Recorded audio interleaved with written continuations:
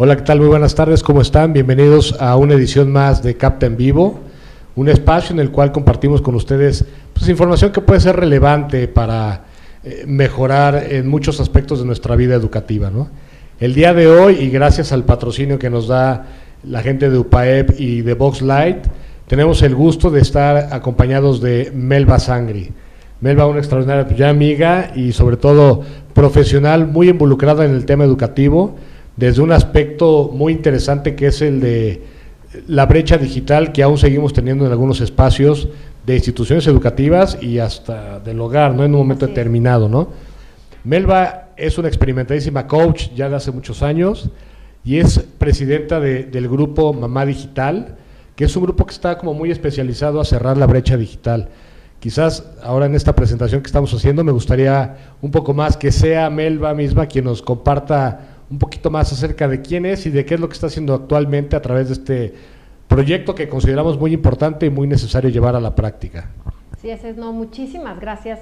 Muchísimas gracias a ti, Rafa, por la confianza. Gracias pues a esos patrocinadores que hacen posible eso y que felicidades por esta gran iniciativa. Siempre es muy bueno tener información oportuna y abrir nuevos espacios, eh, tanto de diálogo como de aprendizaje. Y, y, bueno, pues muchas gracias. Para mí es un honor estar aquí con todos ustedes. Ciertamente he tenido el privilegio de eh, presidir la Asociación de Mamás Digitales, un proyecto que nació en el 2010 y me dicen, ¿cómo se te ocurrió? Y la verdad es que yo digo, no es tanto que se me haya ocurrido a mí, es como si el proyecto ya hubiera existido, saber si como esa misión ya estaba así como calentando motores en México y lo que pasa es que la misión me eligió a mí como para dirigirla, ha sido increíble. Eh, hoy día soy la presidenta y fundadora, tenemos un extraordinario equipo de trabajo, eh, una directora general y algunas gerencias y direcciones que están operando la asociación de una manera extraordinaria. Lo que nosotros hacemos es conectar tu mundo a la era digital. Entonces, a través de capacitación especializada, promovemos y fomentamos una cultura digital en las mamás, madres de familia mexicanas y extranjeras, porque ahora hemos tenido muchas seguidoras de otros países de habla hispana eh, y eh, transformamos y expandimos el mundo interior digital de las mujeres a través del empoderamiento eh, para que utilicemos la tecnología de una manera que nos haga nuestra vida cotidiana más sencilla. O sea, la tecnología es nuestra aliada, hay que aprovecharla y utilizar los beneficios. No, totalmente, ¿no? Melba, entre otras cosas, escribió este libro que se titula Soy Mamá Digital. Lo estuve leyendo y trae historias muy divertidas acerca de pues experiencias que diferentes mujeres, no ya quitando quizás solamente la etiqueta de la mamá, diferentes mujeres han vivido porque pareciera ser de repente que aun cuando la computadora pues nació ya hace muchos años, como que el tema digital de repente se nos vino encima, ¿no? El tema del uso del internet, de todas las oportunidades que el internet nos brindaba y no solo en el espacio profesional, sino incluso en el salón de clases. ¿no? Yo recuerdo y he visto en muchos eh, colegios también un poquito esa incompetencia, ¿no? sin que suene esto agresivo o descalificativo, que a veces tenemos para poder utilizar una computadora siendo maestros, o incluso he visto chavos que de repente llegan con la mamá a pedirle, oye mamá, enséñame, tú sabes cómo se hace esto, cómo se hace el otro, y la mamá voltea y no, no sé, no sé, no sé, y ahí es donde creo que hay una fractura importante en el tejido social porque no se cierra esta brecha digital, ¿no? Sí, claro. Digo, en realidad es que es justamente un tema, yo digo, hoy en pleno siglo XXI México tiene muchos problemas y entre estos problemas que tiene, tiene el problema de la inequidad social provocado justamente por esta brecha digital. Ahora, lo importante, eh, personas que nos están viendo y en términos de mamás, ¿qué es la brecha digital, Rafael? La brecha digital es como esta fractura, esta separación que existe entre los usuarios de Internet, entre aquellos que acceden al Internet y a, las TIC, o sea, todo lo que son las tecnologías de la información y comunicación, de manera cotidiana para desenvolver o desarrollar sus actividades diarias. Y esa diferencia, esa brecha que hay entre, y aquellos que no tienen ese acceso o que tienen oportunidad de tenerlo o que tienen, tienen eh, eh, el Internet o tienen los dispositivos, pero no tienen el conocimiento. Entonces, esa brecha, esa factura entre los que sí y los que no, es la brecha digital. Y yo siempre he dicho, y yo creo que así es, que este, del tamaño de la brecha digital en México es del mismo tamaño de la brecha digital en las aulas de clases y en los hogares. Porque es como, esto se ha permeado. O sea, lo mismo que ocurre en el país en general, está ocurriendo en las aulas y está ocurriendo en los hogares. Totalmente, ¿no? Ahora, muchas veces, no sé si lo percibes así, pero pareciera ser que no hay sentido de urgencia por ponernos a la vanguardia. No sé que tengo esa brecha digital, sé que no exploto estas herramientas, sé que no estoy a la par del desarrollo educativo de mi hijo, pero pues me quedo estático, ¿no? O sea, ¿esto a qué crees que se está debiendo? ¿O por qué crees que no le hemos tomado todavía muchas veces la importancia a este tema? Yo creo que nos está haciendo falta promover y fomentar una cultura digital. Eh, el país tiene muchos asuntos y si nos fuéramos un poco a asuntos más delicados, pues este monopolio que existe y nosotros como usuarios muchas veces no exigimos este, precios más competitivos y entonces como que dejamos el asunto digital un poco de lado y tampoco hemos sido una demanda para el país para que pongan eh, internet en todos lados. Pero antes de pasar justo y responder esta pregunta, me gustaría un poco darle a las personas más información acerca de la brecha digital. ¿Cuál es el número de usuarios de Internet? O sea, para terminar de distinguir la brecha digital. De un universo de 116 millones de habitantes o 118 y pico, como ya al día de hoy lo dicen, solamente, de acuerdo al último estudio que presentó la Asociación Mexicana de Internet el día 17 eh, de mayo pasado, el Día de, Mundial de Internet, eh, el número que ellos dicen de usuarios de Internet en México, de un universo de 116, muy bajito porque ya son 118. 45 millones 100 mil habitantes. O sea que 70 por, hay cerca de 70 millones o más de 70 millones de mexicanos que no están accediendo al Internet. ¿Tú, te imaginas la, la diferencia que hay entre estos que sí y estos que no? Porque hoy día tú sabes lo que provee el Internet, el conocimiento, información los mejores trabajos, asuntos de trabajo, asuntos de salud, asuntos de educación están en Internet. Entonces, la brecha se vuelve no solamente ya un número, ¿sabes? Como los que sí, los que no. Es la diferencia que hay entre las oportunidades que tienen los que sí están en Internet y las oportunidades que se pierden los que no. Totalmente. Entonces, de repente, sí nos hemos vuelto un poco, a lo mejor yo digo, hasta cínicos, ¿no? Eh, hablando del, del tema de los profesores en el aula de clases ha habido como una apatía por no querernos preparar más, como que ni, nosotros hemos sido una demanda para el gobierno para que nos provean de todos, de, todo, no solamente de computadoras, de Rafael, llegan a las escuelas y qué bueno por todo, de verdad benditas asociaciones, organizaciones y todo que están proveyendo de computadoras, One Laptop per, Child, está Únete, que, pero, pero falta algo, falta hacer esta sincronía perfecta entre papás, profesores y los alumnos. Totalmente. Y además proveen el hardware, los fierros, la conexión a internet, la, conexión satelital, si es en algún lugar donde no hay, pero no les enseñan cómo usarlos. Totalmente. Entonces no sirve de nada. Los profesores están usando las cajas para recargar las máquinas de escribir quizá y no las sacan porque no se vayan a echar a perder o no tienen idea.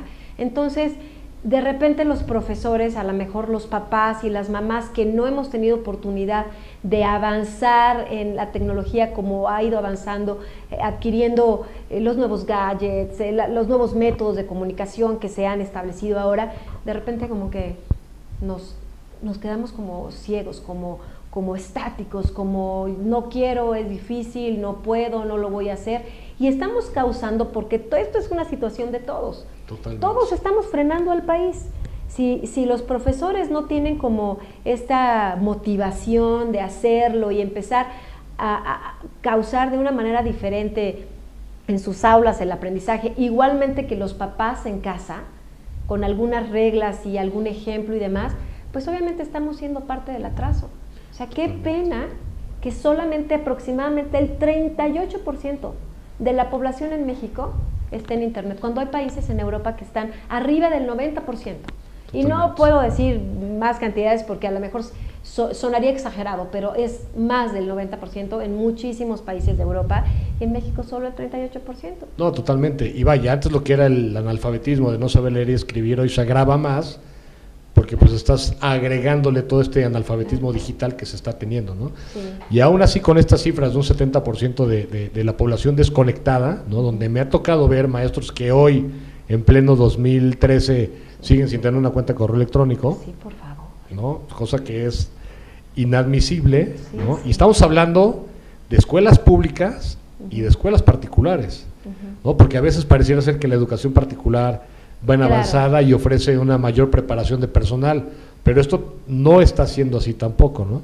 Entonces también hay que sumarle, pues de este 30% que aparentemente sí está conectado, pues gente que sin lugar a dudas, por tener una cuenta de correo o hacer una navegación muy simple, tampoco se le puede considerar que es ya un nativo digital. ¿no? Claro, no, no, por supuesto. De hecho, un tema a comprender, eh, un tema a comprender es este asunto de los nativos digitales y los inmigrantes digitales. Los profesores y los, y los padres tenemos que comprender que los hijos, los niños, adolescentes que hoy son y jóvenes y adultos que nacieron después de 1985 para los países subdesarrollados o a partir de 1980 para los desarrollados, según Mark Prensky, que fue quien acuñó esto de nativos e inmigrantes digitales, ellos ya nacieron en una era digital. Son nativos digitales porque en su crecimiento, su desarrollo, todo lo que ellos iban aprendiendo, cómo se iban adaptando al medio, tenía que ver ya con tecnología. Para ellos era natural tomar un control remoto y hacerle chica a la televisión. Cuando la verdad es que mi hijo no me cree que yo me tenía que levantar, tiqui, tiqui, tiqui, y moverle tac, tac, tac. Ese tipo de cosas. Ya los niños ya nacieron y ya lo hacen así. Esos son los nativos digitales. Es algo que tiene que empezar los profesores y los papás a comprender. Tú ¿Puedes ser un inmigrante digital? Sí, solo si estás dispuesto a entrar al terreno digital. Te vuelves inmigrante de un país cuando, tú eliges estar en ese país, pero pasas una frontera, ¿sabes? Entonces, al estar en el otro terreno, te vuelves un inmigrante de ese lugar. Mientras nosotros no queremos, queramos, querramos o demos ese paso a la frontera, seguimos siendo nada. análogos. Oye, seguimos siendo análogos.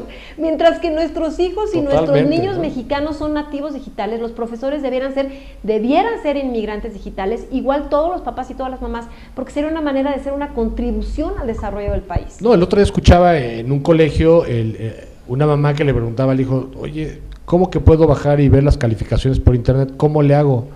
Y el niño todavía volteaba y le decía, mamá, mamá, es que tú nunca sabes nada, o sea, tú de internet no sabes nada. ¿No? Y entonces dices, wow, o sea, la pérdida de autoridad, de respeto, de, liderazgo que tenemos como padres de familia y a veces como maestros, se pierde sí. totalmente, ¿no? Sí, fíjate que no debería de ser así, porque si no saber te causa inseguridad, claro.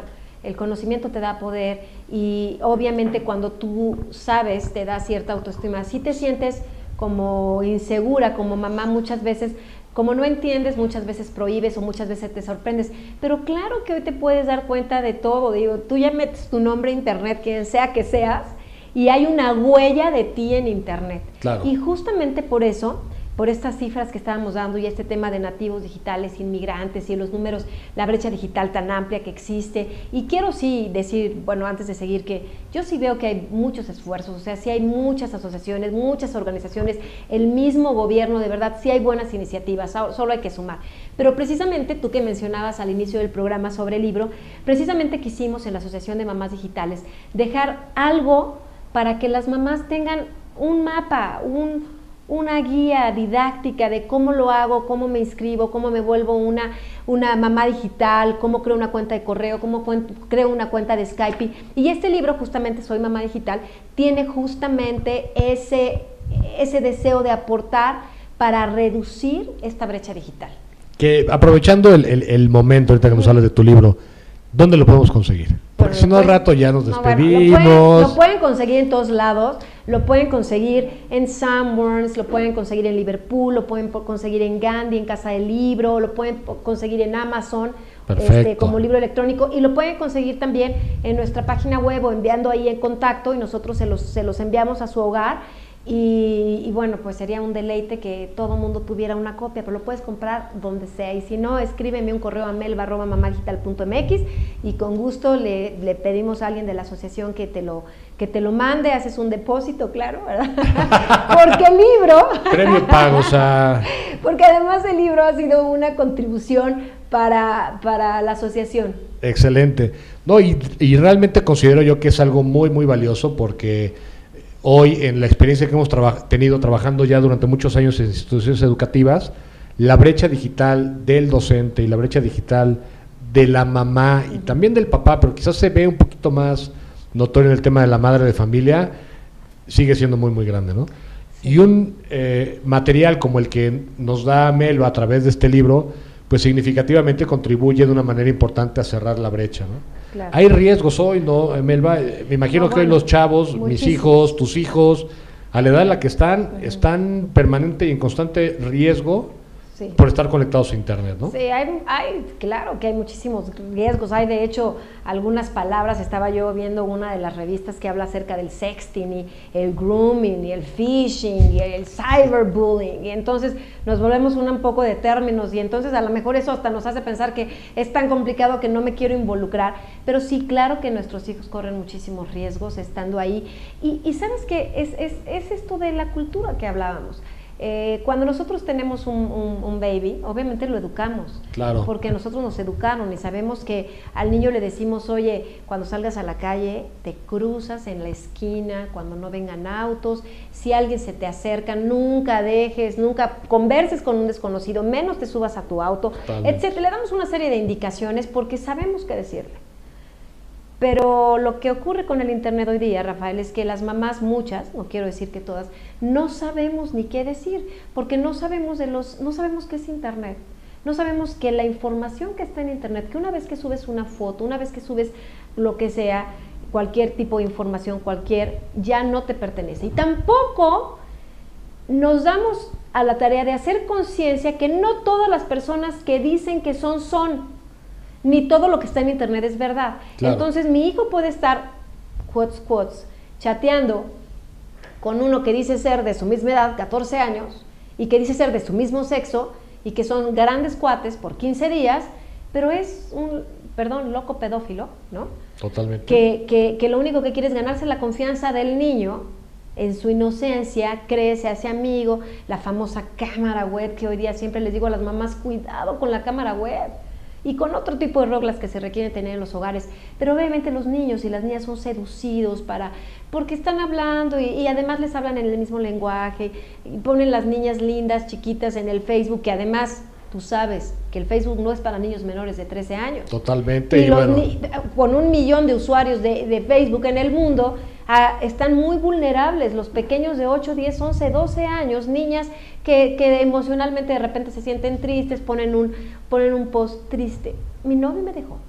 Y entonces sí sabe perfectamente un loco de estos de los que les hablo pedófilos, cómo identificar ese tipo de emociones y entonces le responden, ay, amiga querida, a mí me pasó lo mismo. Y empiezan a ¿sabes? A generar una conversación, oye, pero mándame una foto y pero grábame un video y, o sea, hay una serie de cosas que desconocemos los papás y que corren un gran peligro. Tampoco es como alerta, es prepárate, toma las medidas necesarias. Hoy, hoy día no hay un pretexto, tenemos unas suites de seguridad maravillosas donde puedes instalarlas, puedes comunicarte con tu hijo, crear muchas eh, maneras de comunicarte con ellos de confianza, o sea, hay muchas cosas. Riesgos hay muchos, pero soluciones preventivas hay más. Totalmente. Y esto de verdad, eh, que lo comentamos, obviamente la idea de este programa es que esta información llegue a directores de escuela, directores generales académicos, maestros, porque nosotros estamos convencidos que en un momento determinado no ha habido un trabajo conjunto entre la escuela y la casa. Claro. Y eso no puede seguir así, ¿no? Yo sé, Melba, que ustedes han hecho trabajos muy importantes directamente con instituciones educativas para apoyar en el cierre de esta brecha. Claro, claro, sí. ¿En qué, ¿A qué te enfrentas tú? O sea, ¿cómo es la vida hoy cuando llegas con un director de escuela y dices, hoy tenemos esta problemática, hay que resolverla?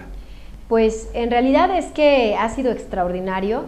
Eh, justamente parte del trabajo que hacemos en la asociación es llevar estos cursos y talleres, estas conferencias de abrir la conciencia a las mamás acerca de los nativos y, de los eh, inmigrantes digitales y darles un entrenamiento de cuáles son esos peligros, pero además decirles cuál es la solución. Entonces, llegamos a las escuelas con los directores, les planteamos un plan de trabajo de algunas sesiones de capacitación para los papás como escuela para padres, pero con temas de conciencia digital, eh, internet en mi familia, eh, la seguridad en Internet, los temas de cyberbullying, etcétera. Y de verdad ha sido no buena, buenísimo y lo que le sigue, la respuesta de los profesores y de las escuelas. Normalmente llegamos siempre a algún acuerdo eh, de horarios, de temas y vamos a las escuelas Damos estas capacitaciones a los papás, a las mamás, principalmente a las mamás, porque los papás algunos están trabajando y las que están más tiempo en casa son las mamás. Y de verdad ha sido extraordinaria la respuesta. Las mamás están ávidas de saber, sorprendidas de lo que no sabían y dispuestas a ponerse en acción para hacer la diferencia. Tenemos grupos, eh, aunque pareciera en escuelas particulares, pareciera que a lo mejor alguien, una mamá de 35 años de escuela particular, como que tiene todo el know-how de cómo ser una verdadera mamá digital, navegar y demás, pero no es así, Rafa, no es así. Hemos recibido el Internet a, través de un gadget, un día te dijeron, ya no escribas, ya no mandes un fax, ahora este es tu correo electrónico y dale send y se va a ir, pero no quiere decir que sepamos nos hemos topado con las que de, verdad no saben nada y les damos como toda esta inclusión digital y las que necesitan un entrenamiento para saber más. O sea, mamá digital no es para las que no saben, sino para las que no saben y las que quieren saber más. La respuesta ha sido extraordinaria. Hemos causado una buenas alianzas con las escuelas para capacitar a sus mamás. De la misma forma, cualquier director de cualquier escuela te puede contactar. Sí, claro. De la misma forma que te puede contactar para pedirte libros. Claro, de la misma manera, melva arroba mamadigital.mx o a través de nuestro sitio web o a través de contacto arroba mamadigital.mx. Nuestra página web es www.mamadigital.mx. Ahí nos pueden contactar y ya les, de manera eh, muy personalizada, ya les enviamos la información o los visitamos y sí, ha sido extraordinario. Okay. Esto es importante, nuestra idea es vincularlos con personas como Melba para que puedan llevar este tipo de soluciones a sus escuelas que simple y sencillamente sean mejores, que tengan maestros más preparados, que tengan comunidades más seguras y que sean instituciones de enseñanza muchísimo más profesionales quizás de lo que lo están siendo hoy en día, ¿no? Digo, tienes mil y una historias. Y, no, mil y una historias. Sin lugar a dudas. Mil ochenta. Pero, por ejemplo, algunas que se te hayan quedado, que pudiera escuchar a alguien de, alguna persona que diga, oye, me reflejo con eso, yo estoy en el mismo caso, me gustaría hacer algo. ¿no? ¿Qué recuerdas así que hayas dicho, esto me divirtió, esto nos dejó mucho aprendizaje? Esta historia nos conmovió, ¿cuál? No, bueno, cosas, este, Porque tu libro hay muchísimas, ¿eh? Sí, no, bueno, tenemos muchas, pero hay algunas chuscas muy tiernas. Tenemos eh, Abuela Digital, también es una parte de nuestra asociación. Eh, entonces tenemos las abuelitas digitales y en una ocasión, digo, quizá de verdad es, real que pasa, eh, el, el, mouse, decimos, a ver, sube tu mouse y lo tomaban y lo levantaban. Era maravilloso, de verdad. Y, y, de repente en las computadoras de casa este, antiguas, los CPUs que tienen, en donde va el, donde va el CD, pensaban que era para el portavasos y cosas así de divertidas. La verdad es que ha sido muy divertido, pero la mayoría de las historias han sido muy motivantes muy motivadoras, porque vemos a señoras de 65 años, Rafa, de 70 años, deseando hablar con sus hijos, con sus nietos, vía Skype o vía eh, Skype o en alguno de los otros chats, en Facebook a lo mejor para saber cómo están. Y, y, de verdad ha sido muy, muy, muy buena. Tenemos historias de éxito maravillosas donde las mamás logran poner su negocio en Internet y hoy día lo que, la remuneración y la ganancia es extraordinaria, o sea, no se compara. Otras mamás que están trabajando desde su casa, Rafa, solamente tienen una computadora, una conexión a internet y un jefe que nunca lo van a conocer de manera personal y que les pagan vía también eh, alguna transferencia bancaria o vía PayPal y ellas trabajan para jefes que nunca conocen. Sentadas en su casa, atendiendo al niño, los frijoles, la puerta y trabajando. Al marido. Es maravilloso, es maravilloso. Y, lo, al marido, claro, por supuesto, porque no. No nos dejes fuera. Oye, lo más importante. lo más importante del hogar. Oye, sí, son los que nos dan todo, ¿cómo no? Los proveedores. Y, acerca de los profesores, eh, los profesores se quedan muy impresionados cuando ellos son parte, ah, muchas de las sesiones que estamos dando en las escuelas, obviamente incluimos a los profesores para que estos profesores sepan el tipo, el, mensaje que se les está dando a las mamás, para que ellos sean quienes refuercen, obviamente, la vinculación que se, va, se empieza a crear entre los hijos y los papás alrededor de Internet. alrededor de las tecnologías de la información, de los gadgets y de, todo, de, todos estos eh, dispositivos móviles hoy día con Internet. Así que tenemos muchas historias. Hay, hay una historia que, que causó mucho impacto, que, que fue muy cercana a una de mis hijas de una chica que tú seguramente ya lo leíste en el libro.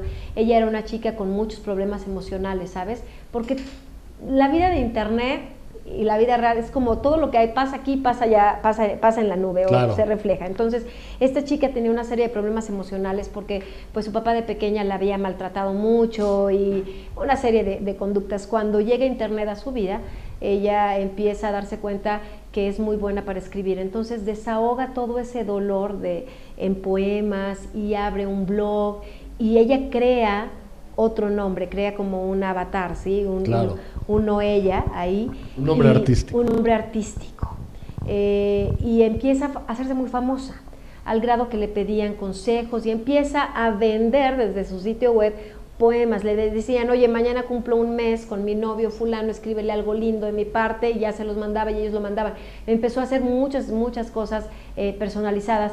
Eh, sin embargo, la, ella misma dice, sin embargo, por las noches seguía sintiendo el mismo dolor, el mismo abandono y la misma soledad. Al final se quita la vida y ella dice, esta es mi última escritura, esta será mi último blog, mi, último post y ella, bueno, pues no, lo soporta. Y la lección ahí que dice en el libro es, ¿y dónde estaban las mamás? ¿Dónde estaba la mamá? ¿Dónde, ¿Por qué no te, te involucraste un poco más en la vida de tu hija? ¿Por qué no sabías eh, cómo se estaba sintiendo? Fue un shock para muchas de las mamás cuando nos enteramos acerca de esto, como de otra historia extraordinaria de una chica de secundaria, Rafael. Esta es una historia de todos los días. Chica de secundaria, desubicada la mamá por acá, la niña por allá. Las clases de la escuela para padres por acá, la mamá afanada en las tareas hogareñas, sin querer saber que es una red social, sin querer eh, involucrarse en las redes sociales de su hija y en el medio. La chica en Facebook se hace amiga de un tal Leonardo y después eh, muy pronto ya es, son seguidores uno del otro en Twitter y después, y, no digo de mucho tiempo, a los ocho días, ella ya le había dado al chico, Leonardo, Quotes Quotes, dos años, solo dos años mayor que ella, el teléfono. Salen de casa, van a rumbo a la escuela y él le pone un, un, mensajito, oye, un WhatsApp, hoy sí te puedo ver, hoy sí nos vamos a ver.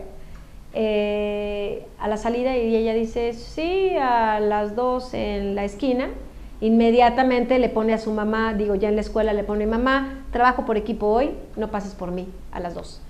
Ella sale, está en la esquina donde se quedó de ver, a auto rojo decía, entonces ella narra en el libro, dice, auto rojo, llega ya, quiero conocerte, llega un auto rojo, se bajan dos tipos, así tremendamente grandes y tremendamente feos y tremendamente toscos y tremendamente totalmente adultos y, y ella impactada, auto rojo, dos, no, no deben de ser, se acercan a ellos, la llaman por su nombre y le dicen, vámonos.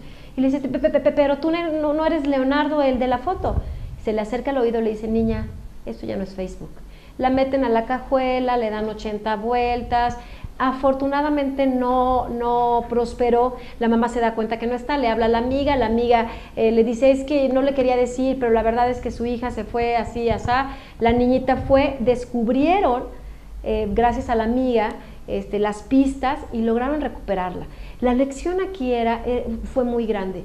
La lección fue, no me involucré, no fui a las clases, nunca leí eh, los pasos, 10 pasos para, o 10 tips para tener internet en tu casa, nunca le dije a mi hija, me tienes que dar las claves de tus, de tus redes sociales, nunca te quedes de ver con un desconocido, etcétera, etcétera.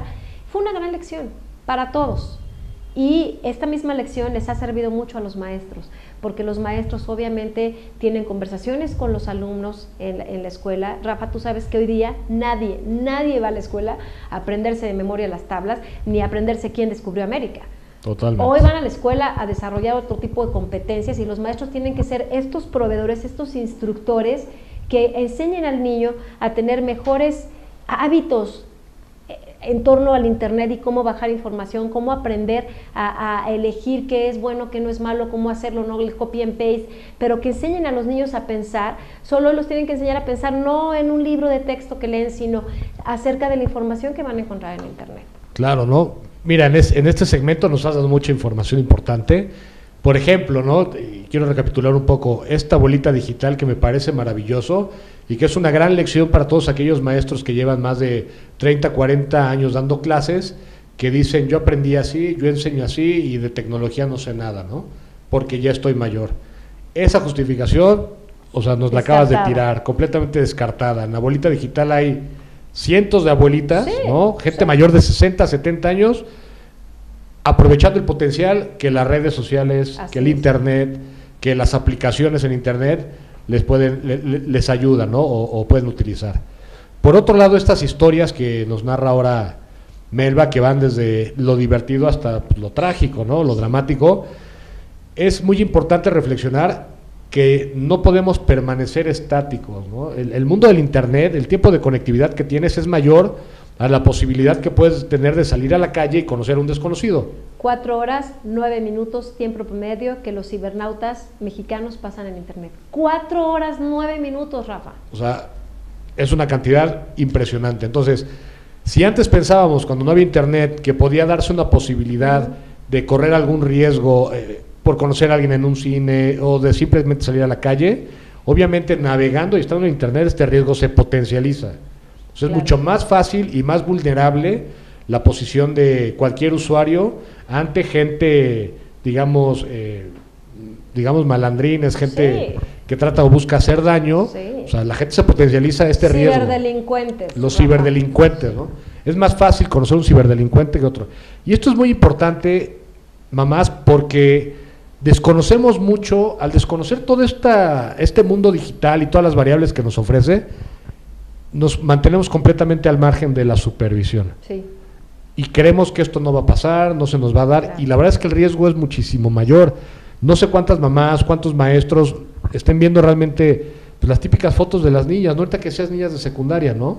Parece ser que estamos haciendo un concurso de a ver quién se ve más bonita, más sexy, la carita, paran la trompita, y eso se vuelve carne de cañón para pederastas, este, violadores, e incluso para los mismos compañeros del salón de clases que empiezan a generar etiquetas y que nos llevan a una parte pues, que tú conoces y dominas, que es el tema ya también del cyberbullying.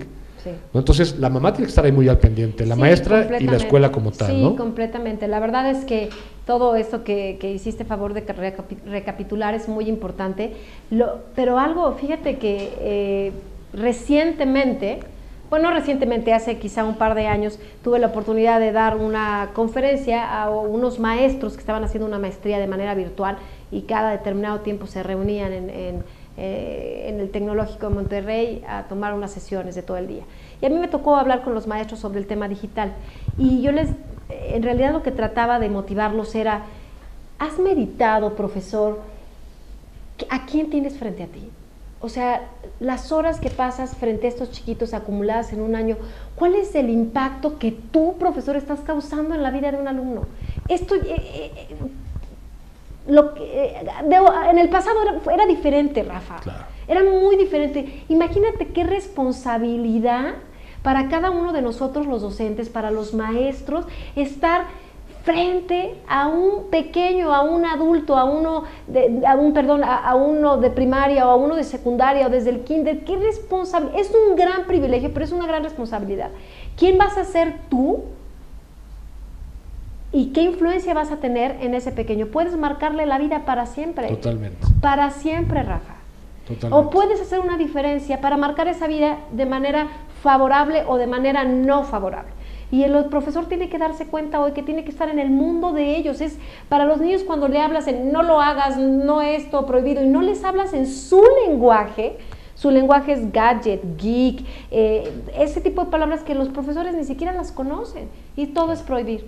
Cuando hoy tenemos una vasta lista de herramientas para maestros, herramientas digitales que además les van a facilitar a ellos el aprendizaje o sea, la manera de enseñar y el aprendizaje se va a recibir de una manera diferente. Perfecto. Melba, los cursos que ustedes dan son abiertos porque ya hay algunas mamás que nos han eh, preguntado y algunas maestras que nos preguntan dónde pueden acudir a tomar estos cursos, dónde se publican, cada cuánto. O sea, evidentemente quiere ser parte del mundo de mamá digital, lo cual es muy bueno. Sí, es buenísimo. Los cursos de mamá digital se dan de manera eh, con un calendario. Este, los damos en algunos lugares de manera gratuita como es Telmex Hub que está en el centro de la ciudad. Ellos nos proveen el equipo, todas las, las computadoras, las máquinas, la conexión a internet de alta velocidad y los temas van desde inclusión digital, la alfabetización, mis primeros pasos en Internet, hasta hacer presentaciones en Prezi, por ejemplo, herramientas colaborativas de Google, cómo hacer búsquedas, e, etcétera. Tenemos una gama de cursos que damos ahí y también los damos en algunas escuelas. Lo que es, en escuelas los damos en las escuelas, en las aulas de las escuelas, los que son conferencias y en su salón de cómputo los que son para los papás que van y toman ahí la capacitación, que dura normalmente ocho sesiones de dos horas una vez a la semana y quedan las mamás como achitas. Bien para decirle a los hijos, a ver, yo ya sé que es un Twitter, yo ya sé que es Facebook, y yo ya sé que esto es lo que puedes hacer y esto es lo que no. Estas son las fotos que sí puedes postear, estas son las fotos que no puedes postear. Y les damos todo ese entrenamiento de cómo configurar, cómo, cómo revisar un historial en la computadora de tu hijo. Hay una historia en el libro acerca de una mamá que cuando por fin se decidió que veía muy extraño a su hijo, muy agresivo, golpeaba la laptop cuando ella entraba a la recámara, se empezó a ver obsesivo por pasar tiempos apartado en su recámara, la mamá descubrió que el niño era adicto a la pornografía, con solo 14 años.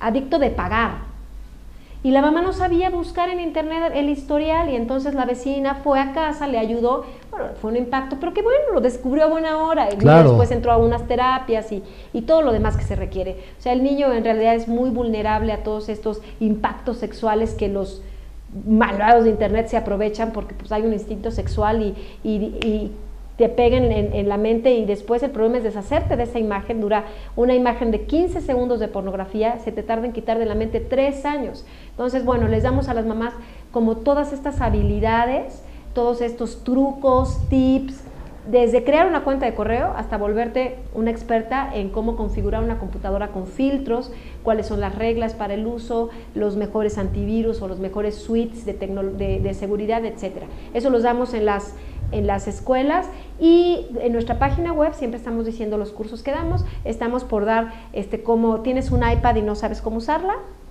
ven a tu taller de cómo usar iPad, cómo usar iPhone y tenemos encuentros digitales.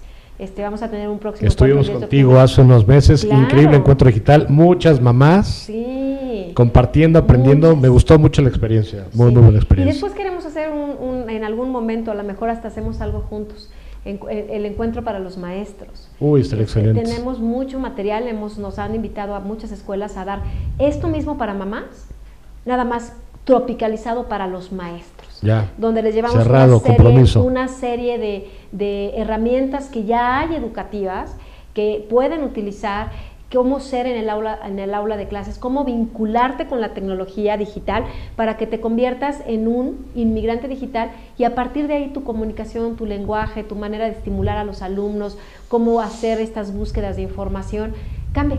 Y los maestros de repente dicen, estaba negado a algo que hoy día veo como al, mi aliado. O sea, estaba negado a lo que era mi aliado. Y es que a veces es el miedo, ¿no? Lo que te mantiene con una profunda resistencia, un poquito el miedo pues, a sentirte eh, vulnerable, a que se rían de tu competencia y por eso mejor dices no le entro, ¿no? Pero yo he visto, la verdad es que mucha gente que colabora con Melba, que se expresan de una manera muy satisfactoria del resultado final cuando pasan por un curso o por una dinámica de aprendizaje, ¿no? Les sube la autoestima, se vuelven más seguras, muy sonrientes, presumen que, que aprendieron y esto es muy importante porque hoy muchas instituciones educativas no saben cómo encontrar diferenciadores para agregar valor a la oferta que están, que están dando. ¿no? Ya hoy una escuela no puede decir, eh, damos clases de lunes a viernes, no puede decir, soy una escuela bilingüe, sino que tiene que buscar soluciones como estas, donde la mamá o el papá se sientan muy consentidos, muy apapachados, muy apoyados, ¿sí? y donde se vea una clara preocupación de la escuela para desarrollar las competencias y el ambiente de toda la comunidad, ¿no? Entonces, por eso es que estamos muy convencidos de que presentarles hoy a Melba puede volverse algo muy atractivo para que la busquen, se vinculen y sean parte de este increíble proyecto digital, ¿no? Tenemos secretos, tenemos secretos. ¿Nos vas a revelar alguno el día de hoy o no? Sí. muy la verdad es que este, este eh, no es un secreto, es que todo está en la manera en que pasa el mensaje. Hay mensajes más importantes que el simple conocimiento del uso del Internet. Claro. El mensaje es esta conciencia, este empoderamiento de la mujer a través del uso de la tecnología, empoderamiento del profesor, de la gente que está frente de un aula. Entonces, no es nada más que aprendas como las técnicas, no es nada más que te sepas de memoria cuáles son los pasos o que aprendas a utilizar o crear una cuenta electrónica. El punto, Rafa, y lo que Mamá Digital ofrece es como una transformación interior. Es por eso es transformación y expansión en tu mundo para que entonces te vincules con la tecnología y con el mundo de la era digital de una manera mucho más efectiva, cordial, amistosa, se vuelve armónico. Entonces, eso ha sido el éxito en realidad. No es tanto, es como muy humano, es como nos vamos más como hacia adentro y ya, yo les digo, lo importante para mamá digital no es todo lo que podemos meter en la mamá o en el profesor. No, no, no, eso no es lo valioso, porque meter conocimiento, pues me planto en internet y Totalmente. ya. Lo padre, donde está el truco, es lo que podemos sacar de la mamá o sacar del profesor, ¿sabe? Como despertar esto que de repente se quedó muerto en stand-by o en un poco de apatía o cinismo, pues ya para qué, todo es lo mismo, ¿no? Mediocridad y demás y de repente les, les pones como un chip de se puede cambiar la vida. Es, eso es, ese es el truco. Por eso yo siempre he dicho, aprende Internet para después aprender con Internet o en Internet. Pero lo importante de eso es el chip que te cambia, la conciencia de dónde estás parado y lo que puedes lograr y hacer. Totalmente. Empoderamiento padre. Y eso cambia el ambiente de una escuela, cambia la relación maestro-alumno, cambia la relación alumno-mamá, alumno-papá y pues, nos da obviamente un beneficio muchísimo mayor socialmente hablando y ni qué decir educativamente hablando, ¿no? Melba, ya estamos por terminar y decías que tienes muchos tips. ¿Cuál nos vas a regalar? ¿Cuál nos vas a regalar? Muchos tips. Bueno, algunos tips para los papás. Estos eh, serían tips para el uso del Internet. Ajá. ¿Ok? Eh, el primer tip es que tiene que haber una regla en tu casa con tus hijos de que hay reglas. La primera regla es, en esta casa para el uso de Internet hay reglas. Muy bien. ¿No? Esa es la primera. Eh, obviamente que nunca perdamos el piso los papás, que porque los hijos saben más de Internet y más de este mundo de era digital y más de los gadgets, perdamos la autoridad, Rafa. Eso no puede ocurrir. Igualmente el profesor no puede perder la autoridad en el aula de clases. Definitivamente. Porque no sabe o porque se siente completamente eh, en desigualdad de conocimiento. Eso, eso nos vino dada. Así como nos vino la responsabilidad de ser padres al nacer, en el kit nos vino el chip de la autoridad y a los hijos y a los alumnos les debe quedar muy claro. Tener, por supuesto, horarios, tener, eh, por supuesto, todo el conocimiento de decirle a los hijos, sobre todo a los pequeños, no todo lo que está en Internet es real, ni, todo, ni quien dice ser es hacerles y ayudarles a hacer mejor búsquedas, saber elegir y seleccionar los mejores contenidos, eh, darles conocimiento de cuáles son esas páginas de acuerdo a su edad, esas redes sociales de acuerdo a su edad, porque hoy día pensamos que todas las redes sociales son Facebook. No, digo, déjame decirte además que de cada 10 usuarios en Internet en México, 9, 9 están en redes sociales. Entre ellas, ¿qué crees? Facebook no, y hay muchísimas redes sociales más que no conocemos. Muchísimas, para niños de 5 años, de 6 años, de 7 años, con algún propósito. Acuérdense, una red social es un grupo de personas alrededor de un objeto con un mismo interés. O sea, las redes sociales han existido siempre, desde la casa de un mamut, pero redes sociales digitales son estas redes que hoy están en Internet. Entonces hay redes sociales para los chicos de natación, para los chicos que de la lectura, a los que les gusta el carácter, a los que les gusta cocinar. Igualmente para ti, mamá, hay más de 4.000 redes sociales en el mundo. Creemos que todo es Facebook y eso no es. Entonces, decirle a los hijos qué fotos postear y qué fotos no postear, qué tipo de mensajes, cuidar su imagen en Internet, ir creando una huella digital respetable y no poner ese tipo de fotografías que mejor sí que estén en un álbum, pero de papel pero no en un álbum de internet. Esas son algunas reglas. Cuidado, mamás, con la, con la cámara web, con los hijos. Esto sí es peligroso. Eh, y sobre todo, crear un vínculo de comunicación con nuestros hijos. No prohibirles, lo prohibido está en prohibir, y sí darles más información, pasar más tiempo con ellos. Y en específico para las mamás y para los maestros, atreverte. Hoy día es muy sencillo adquirir una computadora y tomar cursos donde quiera. Si es con Mamá Digital, un honor, y si no, En cualquier lado te dan cursos, Rafa. Tutoriales en YouTube está lleno de tutoriales. O sea, arriesgarte, ponerte en acción, como dijo Rafa, desechar el miedo y convertirte en una persona que sea una buena influencia para hijos, tanto en casa como en las aulas. Esos serían algunos consejos. Ay, no dejes ah, el último consejo. A ver, el consejo y creo que va a ser el más importante de todos. Por favor, danos like, manita arriba en nuestra página de en nuestro Facebook, www.facebook.com, diagonal mamadigital.mx, ahí estamos como mamá digital.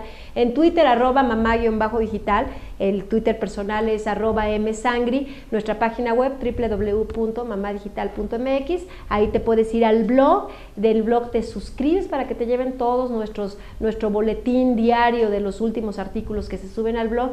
Y por favor, este, mándanos todos tus comentarios y no dejes de comprar el libro para que aprendas y ayudes a la asociación.